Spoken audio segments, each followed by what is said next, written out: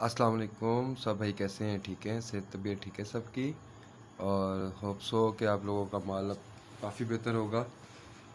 जिसका नहीं है भाई, अल्लाह पाक उसके जानवर को सेहत और तंदुरुस्ती दे, आमीन।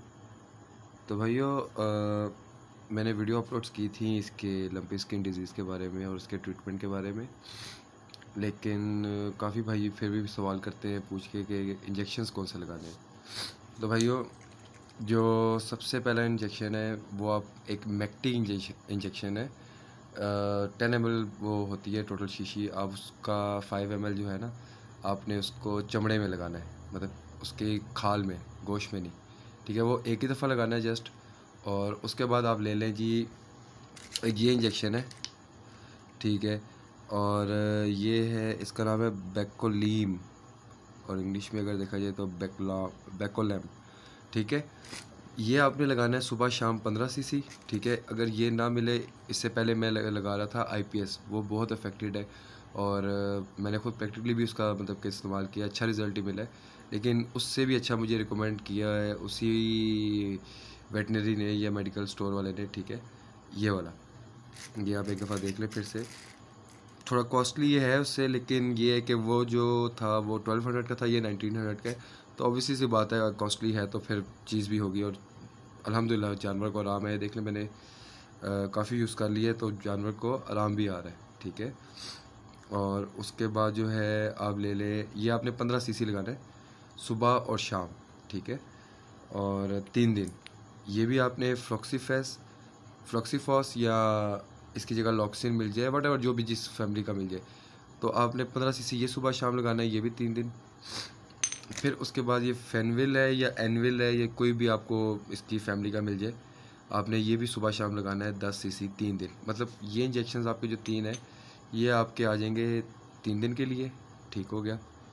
और उसके बाद आपने जो सोजन जिन भाइयों के जानवर स्वेलिंग करते हैं, ठीक है उसके लिए आपने ना रात को ये पाँच टीके पाँच मतलब ये एक पट्टी पूरी जो है ना ये पाँच टीके।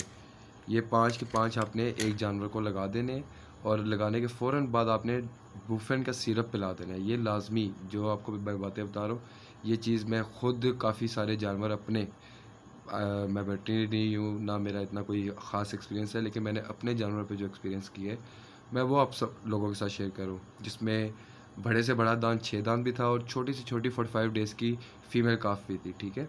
अल्हम्दुलिल्लाह ऑल आर रिकवर्ड ठीक है? तेरह से चौदह जानवर थे, जो कि रिकवर कर गए भी, कर भी गए हुए और एक, दो जो बहुत ज़्यादा अफेक्टेड हो गए थे तो वो भी अभी रिकवर एट्टी परसेंट कर गए हैं, बकाया थोड़ा सा रहता है, वो भी इंशाल्लाह कर जाएँगे तो भाई ये हो गया मेडिकेशन का आपका स्टेप ठीक है? तो इसमें जो मेन चीज़ मुझे जो अफेक्टिव नज़र आई है, वो है नहलाना। जिस, जैसे कि आपने पिछली वीडियोस में भी देखा होगा कि जानवर को मैं नहला रहा हूँ। तो उसमें आपने पाँच मिनट सर पे पानी डालना है, फिर आहिस्ता आहिस्ता गर्दन पे, फिर पीछे जाना है आपने मतलब बॉडी पे। तो मिनिमम जो नहलाने की जो टाइम है, वो आपने जो है पौना घंटा मैक्सिमम घंटा, ठीक है? और कई भाइयों के पास पानी की मकदार अगर कम है तो आप लोग वो भी कर सकते हैं। टूथपेस्ट लें, दो टूथपेस्ट अच्छी कंपनी की मिंट में। और उसके अंदर पाउडर पिकली पाउडर होता है जो बॉडी पे आप लगाते हैं नहाने के बाद, आम इंसानों का। ब्लैक कैट हो गया या वट कोई भी।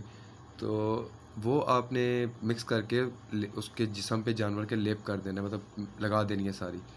तो उससे ये होगा, पाँच मिनट के अंदर आप देखेंगे, आपका जानवर पसीना छोड़ेगा और मतलब जिसम की भड़ास निकालना शुरू होएगा। और आप कपड़े मारते रहेंगे तो कपड़ा इवन इतना पसीना होगा कि आप कपड़े निचोड़ते रहेंगे, पसीना निचोड़ता जाएगा। तो पसीना आपने निकलने देने, निकलते रहना देना है और सुबह जो है ना, फिर आपने इसको अच्छी तरह नहला देना ठीक है? और जैसे कि एंटीबायोटिक्स का कोर्स मैंने आपको बताया, वो आपने करना ही करना है। तो भाई सोजन के लिए पाँच टीके एक टाइम पे और उसके बाद जो है डेक्लोरॉन का सिरप। ठीक? सॉरी, डेक्लोरॉन का कह रहा हूँ ब्रूफेन का सिरप। तो ये आपके आगे सोजन के लिए, ब्रूफेन सिरप और ये। ठीक है?